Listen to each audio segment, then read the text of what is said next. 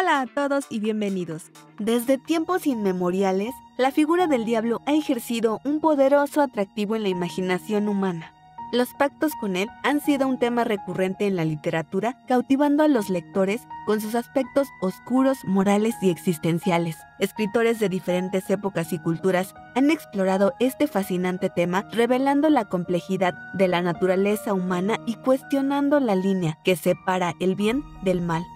El origen de los pactos con el diablo se encuentra en las creencias populares que a menudo advertían sobre las consecuencias nefastas de hacer acuerdos con entidades infernales. La literatura medieval se hizo eco de estos temores y supersticiones, representando al diablo como un ser astuto y manipulador, tentando a los personajes a vender su alma a cambio de poder, riqueza o deseos mundanos.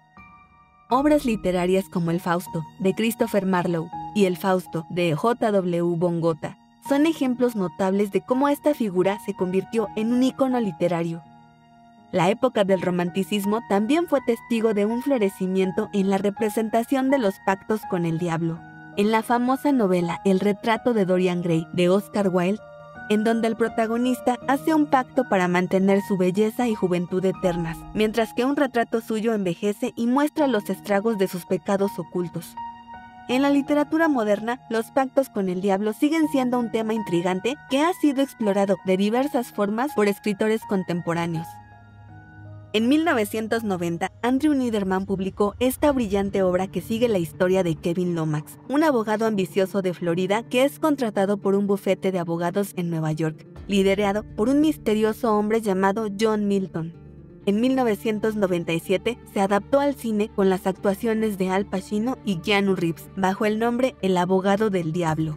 Kevin se muda a Nueva York con su esposa a un lujoso departamento propiedad de John Milton, mismo que ha sido desocupado recientemente ya que el propietario anterior se suicidó en la terraza. Kevin decide omitirle este evento a Marianne para que ella no se sienta incómoda, sin embargo, la idea de vivir en el mismo lugar en el que hubo un suicidio no le agrada, pero pronto se olvida de ello, pues empieza a disfrutar del éxito de su carrera, mientras que Marianne, quien en un principio es descrita como una mujer dulce y entregada a su esposo, comienza a desarrollar una excesiva vida social llena de banalidades cuando conoce a las esposas de los asociados.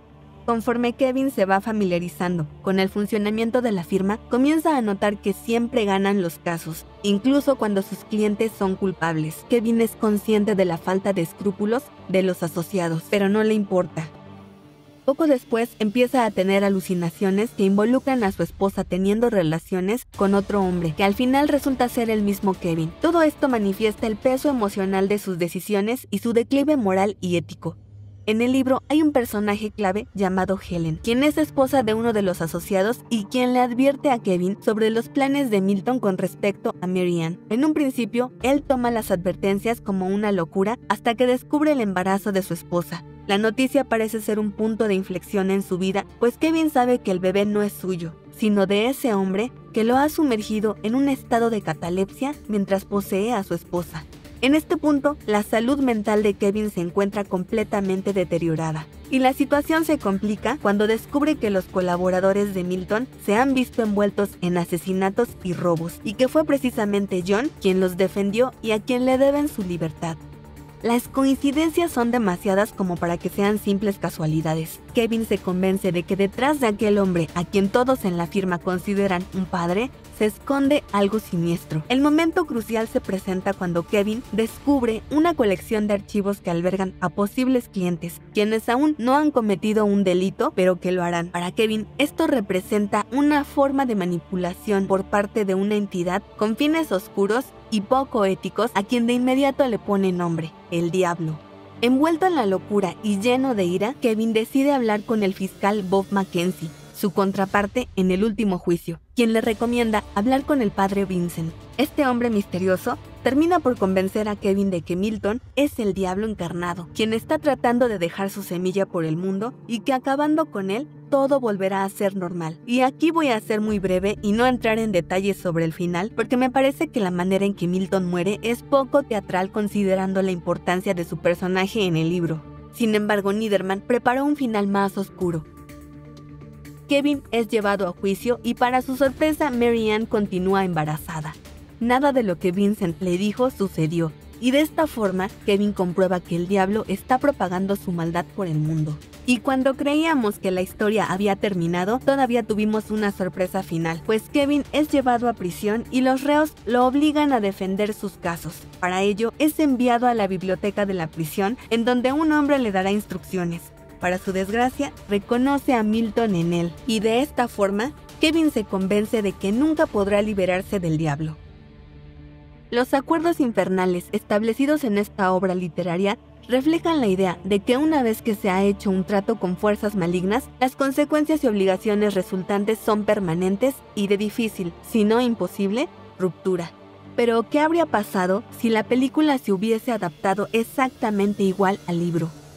El desenlace de Kevin habría sido menos esperanzador debido a las consecuencias imprevistas de sus propias decisiones. La ironía trágica es que el personaje parece merecer un mejor destino debido a su bondad y acciones virtuosas, pero en cambio sufre un desenlace desafortunado. Este tipo de narrativa ha sido utilizado a lo largo de la historia en la literatura clásica y sigue siendo una técnica narrativa poderosa que evoca emociones y reflexiones en el público. El final de Kevin refleja la noción trágica de que los actos impulsivos o movidos por ambiciones egoístas llevan a resultados trágicos e inevitables. Por su parte, Marianne se convierte en una víctima de las consecuencias de la ambición de Kevin. En la película, el sufrimiento de Marianne es más claro, pues es ella quien descubre la maldad que rodea a Milton y quien al final entiende que el diablo ya está en todas partes y que de él nadie se salva. Esa conciencia de los hechos hace que se suicide. En una de las partes del libro se menciona que Kevin imagina cómo habría sido su vida si no hubiera aceptado un caso de violación. Esta escena termina formando parte de la película como un salto temporal y esperanzador cuando Kevin se sacrifica para evitar que el diablo propague su semilla por el mundo. También representa su redención y le brinda una segunda oportunidad de hacer las cosas bien. Sin embargo, Kevin es adulado por un periodista quien resulta ser el mismo diablo, haciendo referencia a lo que menciona el libro de que nunca podrás librarte de él. Los finales felices se han vuelto recurrentes en algunas cintas de Hollywood, desechando los propuestos por los autores, que en su mayoría son más oscuros y dejan al lector sorprendido. Las modificaciones en el guion hicieron que finalmente Al Pacino aceptara participar en la película, encarnando a un diablo carismático, cínico y paternal. Las actuaciones de Keanu Reeves, cuya genialidad e inocencia retratan a un Kevin que no tiene idea del pacto que está aceptando y conforme avanza la película, al igual que su traje, su alma se va perdiendo en la oscuridad. Y Charlize Theron, quien tiene más protagonismo en la cinta, sin embargo, no le dio suficiente espacio para mostrar su verdadero potencial como actriz. Por cierto que ella pasó una hora al día durante tres meses en el psiquiatra para retratar a la perfección la conducta esquizofrénica de Mary Ann. A lo largo de los siglos, como tema recurrente, ha sido fascinante en la literatura. Desde las representaciones medievales hasta las obras modernas y contemporáneas, los pactos con el diablo han servido como una herramienta para reflexionar sobre la naturaleza de la responsabilidad, nos enfrentan con nuestros propios demonios internos y nos enseñan sobre el arrepentimiento y el perdón. Todas estas historias nos recuerdan que la búsqueda del poder y la satisfacción a cualquier costo puede tener un precio terrible, lo que nos obliga a cuestionarnos nuestras decisiones. ¿Y tú qué estás dispuesto a sacrificar por tus deseos más profundos? Gracias por acompañarme en este video. No olvides dejarme tus comentarios y activar la campanita para recibir las notificaciones. Nos vemos en otro video. Hasta la próxima. Bye bye.